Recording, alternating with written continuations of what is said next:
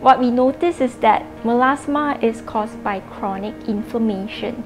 So the foods that you're taking can also trigger inflammation and in return cause melasma formation. Our skin is the largest organ in the body. It requires a lot of nutrients to repair and mm -hmm. regenerate. Let's say when you're a person who eats a very healthy diet with a lot of nutrients, vitamins and minerals, your body is able to repair and regenerate to overcome pigment formation. Let's say a person eats highly processed foods, not much vegetables and fruits, that's when their body isn't able to recover. In today's age and era, our lifestyle expectation is also higher. Mm -hmm. We are exposed to more sources of inflammation like stress, mm -hmm. not getting enough sleep. So in that case, your nutrient requirement increases. It depends on a case-to-case -case basis. So if your inflammation rate is low, then perhaps a typical diet will be sufficient. You can take would be vitamin C, vitamin E, and coenzyme Q10. When it comes to lifestyle adjustment, it's most important, number one, is to minimize your inflammation exposure coming from your lifestyle like stress level as well as getting enough sleep and diet.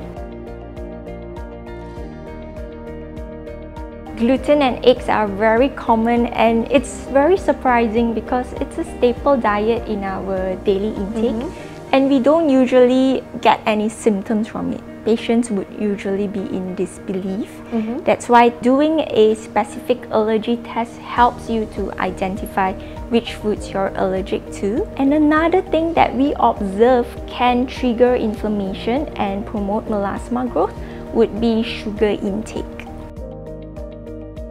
So sugar is pretty scary because we may think we're on a low sugar diet, but most people don't realize that sugar is hidden in a lot of foods, including biscuits, drinks, and our snacks that we are taking on a daily basis. So if possible, try to reduce and minimize sugar intake.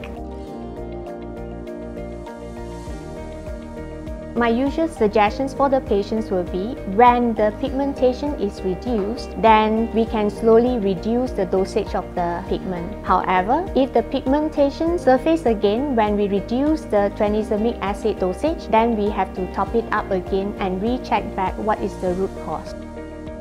If we wanted to have a healthier skin, to supply the surface skin with sufficient nutrition is important. Good sun protection is extremely important as well. And when we are doing this protections method, we will hydrate the skin, nourish the skin, and prevent the pigmentations from forming.